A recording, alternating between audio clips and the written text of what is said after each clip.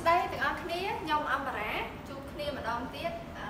អរគុណមែនទែនសម្រាប់ការតាមដានថ្ងៃនេះខ្ញុំមាន topic មួយដែលខ្ញុំចង់ចែកម្លែកខ្ញុំបានអាននៅក្នុងសភៅ15 Law Pro ដែលក្នុងចំណុចនេះគឺនិយាយអំពីអឺពាក់ព័ន្ធជាមួយនឹងពង្រីកសក្តានុពល potential របស់ខ្លួនឯងអញ្ចឹងនៅក្នុងចំណុចនេះផងដែរអ្វីដែលខ្ញុំបានរៀនគឺតកតងជាមួយនឹង potential ទៅលើ ភាព grow របស់ខ្ញុំមានន័យថាត្រឹមតែជាការផ្លាស់ប្ដូរផ្នត់គំនិតមួយអត់តគ្រប់គ្រាន់ទេសំខាន់គឺខ្ញុំត្រូវតែមានសកម្មភាពអញ្ចឹងនៅក្នុងការធ្វើសកម្មភាពមួយនេះផងដែរគឺខ្ញុំត្រូវធ្វើអ្វីដែលថ្មី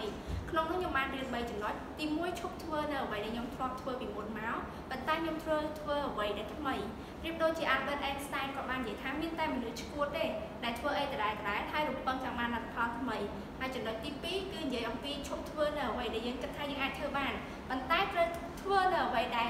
អ្នកអាចធ្វើបានហើយអ្នកគួរតែធ្វើបានហើយលើសពីហ្នឹងហើយចំណុចចុងក្រោយ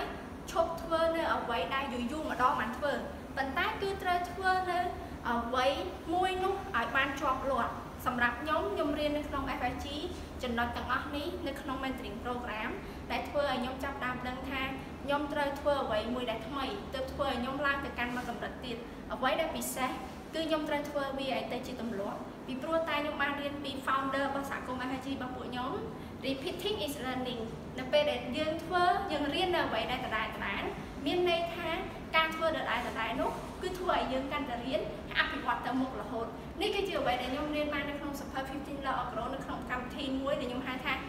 3គុណ21 personal growth program ខ្ញុំអរគុណអ្នកទាំងអស់គ្នាសម្រាប់ការតាមដានជួបគ្នានៅ next video អរគុណ